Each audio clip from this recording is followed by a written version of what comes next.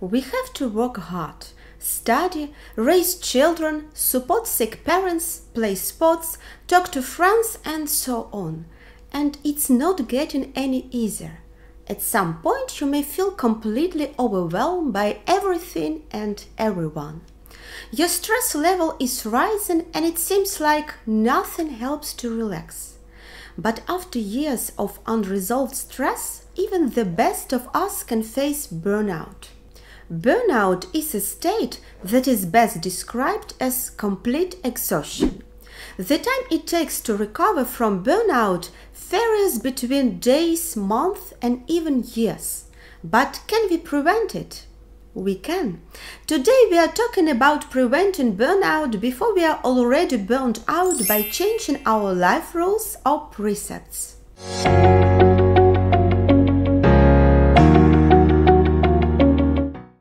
When we are under stress for a long period of time, we often have a tunnel vision or the feeling that we are stuck. We have to work more to pay a mortgage. We have to follow courses and get promoted because our children will go to college. We need to pay for. So the feeling of being stuck is an essential part of stress. Some people are able to change things if they notice this feeling. They plan more free time and ask help from others. Say no to their boss more often and engage in more relaxed activities.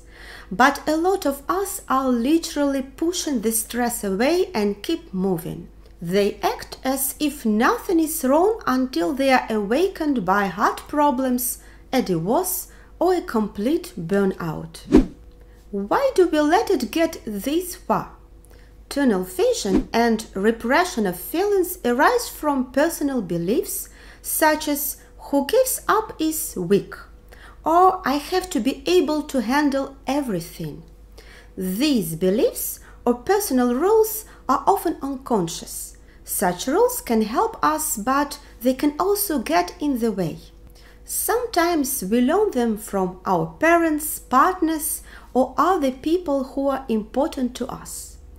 If your father keeps telling you that you have to work hard to achieve something in life, chances are big that this will become a strong belief. When you find out that hard work does indeed pay off, you will persist in that role and the behavior that goes with it. Beliefs are also created by major events that evoke strong negative emotions. Our beliefs and the accompanying behavior are aimed at preventing us from experiencing these negative emotions again. I will give you an example of a 40 years old man, let's call him Mark. When Mark was 9 years old, his father left the family for another woman. Mark continued to live with his mom and felt abandoned, betrayed, lonely, and extremely guilty. What had he done wrong to make dad leave? As a nine years old boy, Mark couldn't handle this painful emotion well he has decided to always do everything perfect, so that no one would ever have a reason to abandon him again. This idea helped him to succeed in many things. He got a permanent job and a number of promotions because he worked just a bit harder than his colleagues. Although Mark got into trouble for trying to do many things too perfectly he worked long hours and spent a lot of free time on training and courses. The feeling that he has something to prove all the time haunted him. He was constantly chasing his wife and children because he felt they should do their best too, making his relationship with the family worse. After not getting a major promotion, Mark collapsed his belief that he should do everything perfectly changed from a success to a hindrance. Despite all his past successes, he felt like nothing he did was good enough. But since perfection is an illusion, the pursuit of it was never complete. As a result, Mark has worked himself to exhaustion and burnout.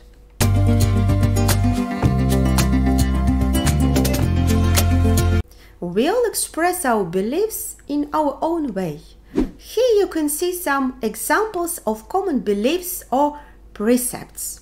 But today let's talk about three main types of beliefs. The first type is everything must be perfect.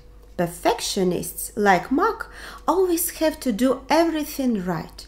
They are not able to slow down or to skip some activities. The second type is I'll do it all by myself.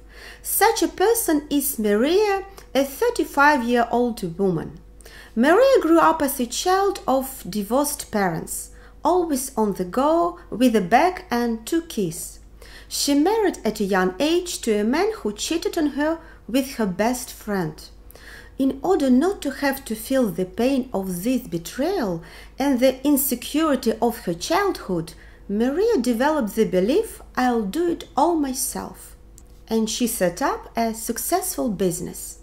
Because Maria did not seek help because of her belief, for example, by hiring additional staff or by using help from her business partner, she ended up in a burnout.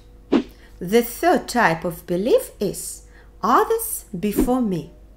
This belief is common by children of sick parents or divorced parents who try to keep things together in the period before the divorce. They have learned to ignore themselves, so they don't learn to express their own needs, to say no, and are not able to define their boundaries.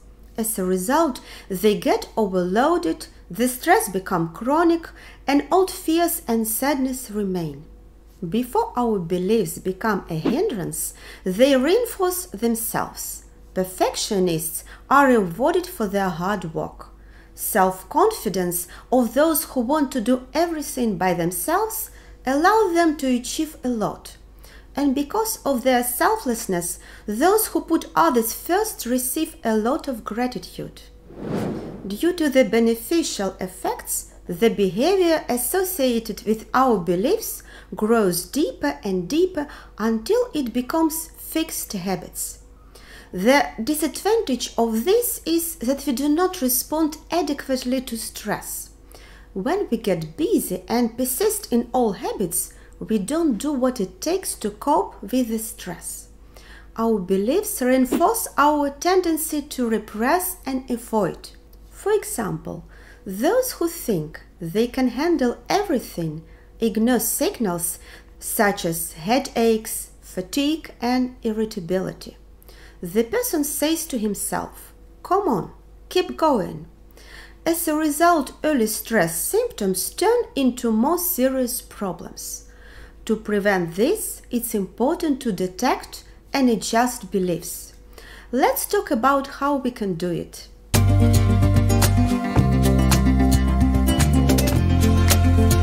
Make a complete list of different life areas, such as work, children, and relationships. Distinguish as many separate activities as possible per area.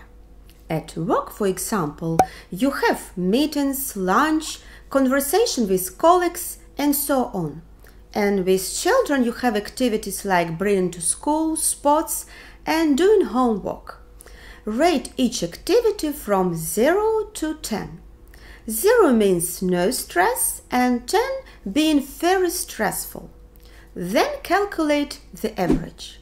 Activities that you scored at or below average are the less stressful part. Anything above average is the source of stress in your life. Consider your current approach to stressful activities. Are you someone who puts others first? Do you always do everything by yourself?